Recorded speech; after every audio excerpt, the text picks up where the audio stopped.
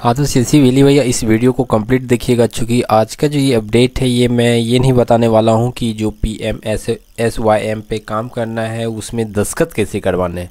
सबसे बड़ी गलतियाँ जो अभी भी बहुत सारे वेली कर रहे हैं उस वजह से जो है वो कस्टमर के बैंक अकाउंट से पैसे कटेंगे ही नहीं, फिर एक अलग से आपको एक टेंशन हो जाएँगे। इसलिए पूरा इस वीडियो को समझ लीजिए। आप देख रहे हैं नेट सोल्यूशन हिंदी और यदि हमारे चैनल पे आप नए हो चैनल को सब्सक्राइब नहीं किए हुए हैं, यदि रेड कलर का सब्सक्राइब बटन आपको दिख रहा है तो इसे अभी दबा के सब्सक्राइब कर। जितने भी व्यूअर्स देख रहे हैं इस वीडियो को प्लीज़ लाइक कर दें। आप लोग का प्यार और सपोर्ट कंटिन्यू हमारे चैनल के साथ रहता है, जिस वजह से कंटिन्यू अपडेट हम आप लोग के लिए ढूंढ के लाते रहते हैं।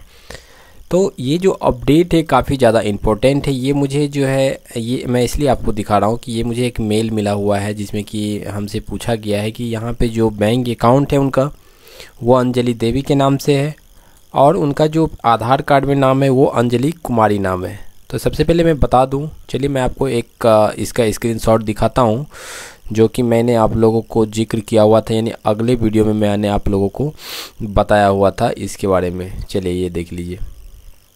ये सी की ऑफिशियल चैनल के द्वारा जो बताया गया था अपडेट उसका ये स्क्रीनशॉट है। इसमें देख सकते हैं कि तीन जगह, दो जगह ही सिग्नेचर करने के लिए बोला जा रहा है। एक तो फ़र्स्ट कॉलम यहाँ जो आपको दिख रहा है, यानी कि एक कॉलम यहाँ दिख रहा है, यानी कि आपको मैं दिखा दूँ। तो सबसे फ़र्स्ट यहाँ पे जो आपको दस्खत दिख रहे हैं, ठीक है? ऊपर में, अंजलि कुमारी। वो यही दस्खत है यहाँ पे। चलिए, ये तो हो गया हो गया।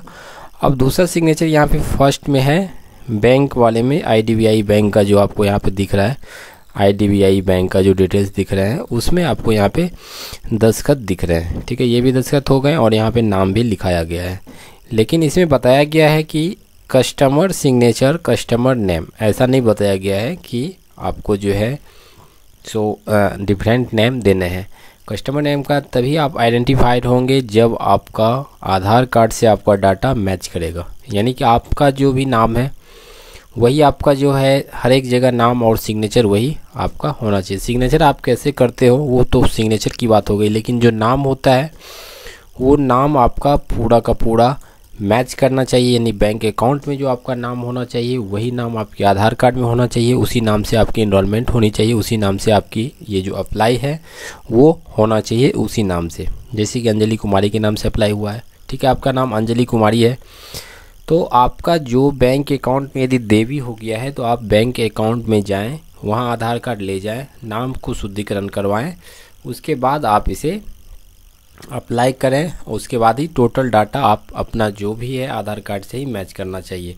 ऐसा नहीं कि आधार कार्ड में अंजलि कुमारी है और आपने अंजलि देवी दे दिया तो वो कभी भी पेमेंट इससे डिडक्ट नहीं होंगे जब तक आपका नाम पूरा का पूरा मैच नहीं करेगा।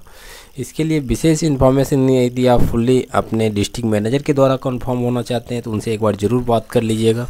सी टीम से भी आप कांटेक्ट कर सकते हैं। ये एक दो प्रॉब्लम्स जो है, जो भैली गलतियाँ कर रहे थे, उनके साथ जो समस्याएँ आ रही थी, वो मुझसे पूछा गया। तो मैंने सोचा अपने नेट सोल्यूशन हिंदी चैनल के द्वारा आप लोगों को ज़रूर इन्फॉर्म करूँ क्योंकि हर अपडेट आप लोगों तक मैं पहुँचा देता हूँ, ताकि आप लोग इसके लिए अलर्ट हो जाएँ। और जो भी समस्याएँ होती हैं, वो गलतियाँ आप करने से पहले जो है उसे सुधार कर लें। तो फिर नए अपडेट के साथ जल्दी हाजिर होते हैं। मिलते हैं फिर एक नए एपिसोड के साथ। जय हिंद, वंदे मातरम।